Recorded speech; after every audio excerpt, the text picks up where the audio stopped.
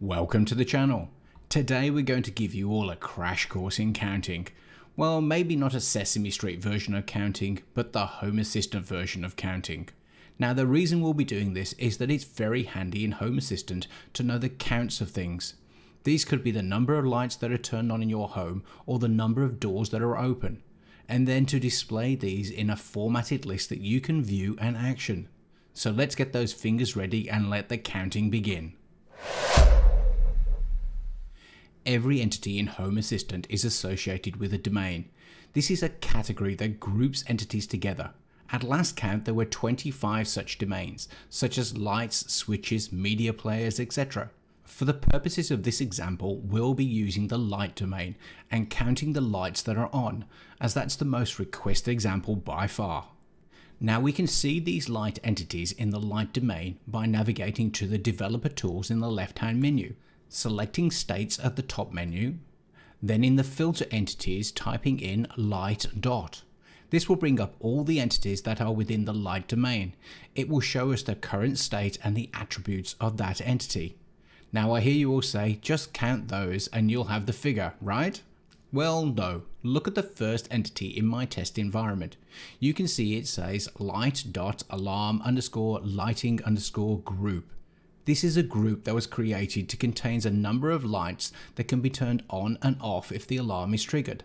But the point is, it's not an individual light that we can count, it's a group of lights. Likewise, if you scroll down, you can see entities for light.home underscore hub underscore status underscore LED. This is simply the status light for the Reolink Home Hub. Check out that video in the pop-up above. Obviously, we don't want to count this as a light either. So we need a way of identifying real lights as opposed to these pseudo entries in the light domain that we don't want to count. Now, although there are ways of identifying an individual light as opposed to a group, these vary depending upon the protocol used. As such, the most reliable way is to use labels. Now, if you don't know what a label is, then check out the video in the pop-up above where I take you through what they are and why they are important. So how do we list off all of our lights in the light domain and allocate labels to each of them? Navigate to Settings, Devices and Services, Entities, in the search bar, type light dot. This will bring up all the light entities, but this will include groups, LEDs, floodlights, etc. Now this is where you need to make some decisions. Most of you will only want to count internal lights that are on, but you also might want to count external lights that are on, both of which are possible and totally legitimate. You need to consider the label according to the individual needs to uniquely identify each category you wish to count. I would suggest attaching labels for light, security, LED and group, but you might want to add additional groups for external so you can count the external lights. To allocate the label, select the entity. Now select the cog in the top right hand corner. Select add label. As this is the alarm group, I wish to add a label of group. When I type group in, I can see that there is no group label already in existence, so I need to add the group optionally give it an icon and press create. Once you're finished allocating your labels, press update. The group label will be shown underneath the entity name. Now repeat this exercise for all light entities in the light domain. If you're planning on counting the number of open doors or windows, then you could do the same exercise by labeling the binary sensors. But since this is a much larger domain, it's much easier to search for the word opening and label these, as these should be all the contact sensors for your doors and windows. Now we are set to test our counts. To do this, we'll be using templates. Navigate to Developer Tools and Templates. The developer template is a very powerful and very handy for testing out expressions to see if they work before implementing them. We'll start with counting the number of entities that are in the light domain. Press clear in the template editor and confirm with OK. Now type in the following. I'll put a link to a document that contains all of these commands in the description. Now I don't have 47 lights in my test environment, but this number includes all those LEDs and security lights etc. So now we have labeled all the entities in the light domain, we can exclude those from our count. Let's start with the groups. Here we select all the entities in the light domain, then we reject based on the attribute for the label as group. Then we list and count the number. Again, this example will be in the document and listed in the description. Now let's expand the exclusion for LEDs and security lights. Here you can add in whatever additional labels that you wish to exclude. Now for our final command, we want to only select those that have an attribute of on, and we can see the resultant of 8 for the study lights that are currently on. Likewise, by changing the state equal to, we can count the number of lights that are off, with all the same exclusions for security, LED and groups. Now we have developed our templates that calculate the correct number of lights for turned on and off. Let's create custom sensors so that we can use these in a dashboard. Now we are going to need a file editor. I'd suggest using Studio Code Server.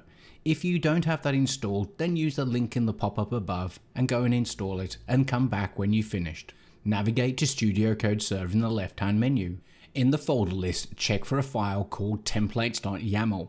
This is not created as part of the default installation, but it's worth checking to make sure if you've created it in the past. If it's not there, then right click in the empty space below the file list and select New File. Enter templates.yaml in lowercase and press enter. Copy the following code from the document listed in the description. We just need to make two changes. Right click after the unique ID on line 3. Select generate UUID at cursor and repeat this for line 12. These are needed if you want to be able to edit the entity through the Home Assistant UI. Now we need to link this new YAML file into Home Assistant so that it is recognized. Select configuration.yaml from the left-hand menu. If you don't already have a section for linked YAML files, then it might be a good idea to add one. Remember that a hash in YAML files are comments and are not interpreted. Now enter a line template colon space exclamation mark include space templates.yaml. Now navigate to developer tools. Press YAML, select restart, press restart Home Assistant and confirm with restart. When Home Assistant comes back, we can go and have a look at our custom sensors to see if it contains our values. Navigate to settings, devices and services, entities. Search for sensor.lights. Here you can see our two custom sensors for lights on and lights off. You can also see a value for the total number of lights in the domain, which was generated by Spook integration. If you don't know what the Spook integration is, then check out the video in the pop-up above. Now we can use all of these entities on a dashboard, plus an appearance of a special card. The objective here will be to add the new sensor entities for the count of the lights on and off to this dashboard. Plus we'll list off all the lights that are on but exclude the groups, LEDs and security lights. Navigate to a dashboard. I'll be using a new dashboard that's using this section view, but this will work on any type of dashboard. Press the plus icon in the new section. Search for and select entity. Clear out the value that is stored. Search for and select sensor.light underscore on underscore count. Optionally give it a name and an MDI icon and press save. Now duplicate this entity. Change the entity to light underscore off underscore count. Change the name and the MDI icon and press save. Now we could code the list of lights that are currently on and display these in a markdown card. However, why bother coding when we have a card that works perfectly and most would say looks even better? Now this card deserves its own video as probably one of the most powerful cards in HACS that is used the least. Make sure you watch this section of the video and let me know in the comments if you'd like a full video on this card as I think it's amazing. Now you will need HACS installed to use the auto entities card and if you don't then watch the video in the pop-up above and come back once installed. Select HACS from the menu in the left hand side. Search for and select auto entities. Now press download in the bottom right hand corner and confirm with download and reload your browser. Make sure to refresh your screen and make sure that download does not appear in the bottom right hand corner to confirm that these downloaded correctly. Now let's use the Auto Entities card on our dashboard. Press the plus icon. Search for and select Auto Entities. Now press Show Code Editor. Now this video is already getting way too long, so copy and paste the code from the link in the description and I'll explain it. In line 2 show empty will show the title even if there is no lights that are currently on and listed. If set to false the card will effectively disappear with no lights are on. Line 4 is the card type that will show for the entities that meet the criteria.